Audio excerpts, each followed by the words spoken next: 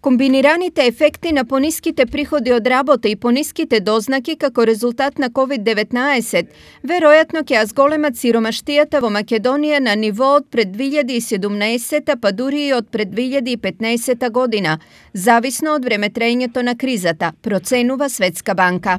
Симулациите предвидуваат стапката на сиромаштија да порасне од околу 17% во 2019 до околу 20 до 23% во 2020 година и од 55.000 до над 130.000 граѓани на Северна Македонија, во зависност од тоа дали кризата ќе трае од еден или два квартали, би западнале во сиромаштија. Се вели во делот на извештајот посветен на Македонија.